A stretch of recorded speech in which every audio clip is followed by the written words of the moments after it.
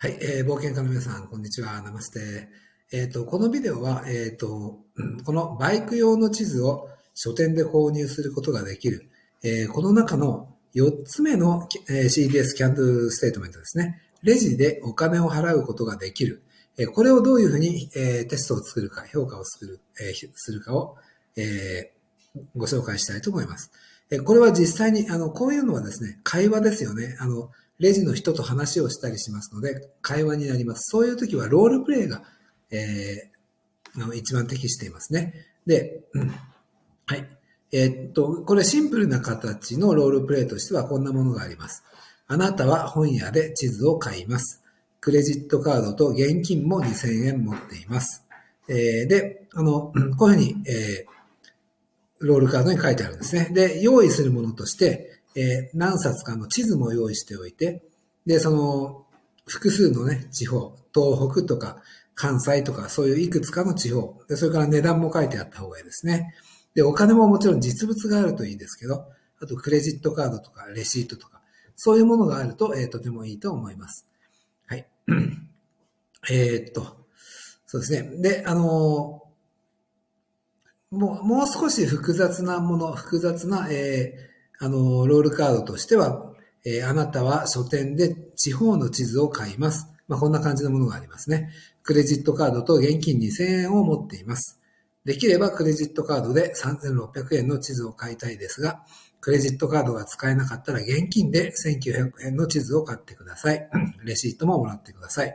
えー、こんな風になると少し、えー、現実に、えー、実際に近くなってくる、そういうロールカードになります。はい。でですね、あの、えー、これが、じゃあ何を教えればいいかとか、あるいはその試験をですね、どういう試験を作ればいいかっていうときに、えー、実際の会話の例を考えておくと、えー、こういう評価もししやすいですし、それからその後で、じゃあ何を教えればいいかっていうことを考えるのも簡単になってきますね。はい。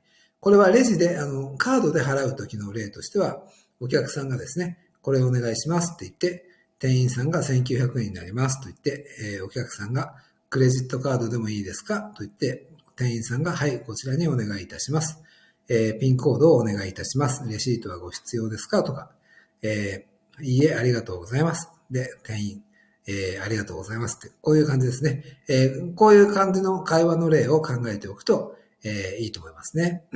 これはレジでカードで払う場合の、えー、話です。えー、レジで現金で払う、えー、ときは、え、ー、と、こんな感じですね、えー、クレジットカードでもいいですか？って言われて申し訳ありません。うちは現金だけなんですとか、えー、言われる、えー、こともありますね。でそういうときは、えー、じゃあこれでって言って現金を払うわけです。はい。えー、こういう2種類の、えー、会話の例を考えておくと、えー、実際の評価もしやすいですし、後で何を教えればいいかも、えー、考えやすいですね。はい。で、ここで、えー、あの、じゃあ何を、えー、評価すればいいのか。この、あの、ロールプレイの中でね。で、え、まず最初には正しい地図を選べたかどうかですよね。この、あの、本屋さんに行って、地図のところに行って、そしてたくさんある地図の中、地図の中から、東北地方とか関西地方とか、行きたい地方の地図を選べたかどうか。えー、そして店員さんとのやりとりで、えーうん、カードか現金か、その正しい方を店員に渡すことができたか。えで、レシートが必要な場合はレシートがもらえたか。えそしてですね、これとても大事です。あの、これ特に文系シラバス、みんなの日本語とかとはとても違うところなので、え4番が特に気をつけなければいけないんですけど、え店員の言葉が全てわかる必要がないってことですね。ここで、あの、お願いいたしますとか、ピンコードをお願いいたしますとか、そういうことがわからなくても大丈夫っていうことです。はいで、たくさんの知らない言葉の中から知っている言葉だけで、それ、知っている言葉を見つけて、それで、えー、その行動ができるかどうか。それが大事なわけですね。はい。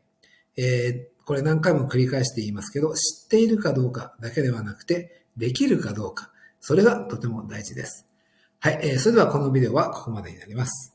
フィルムレンゲ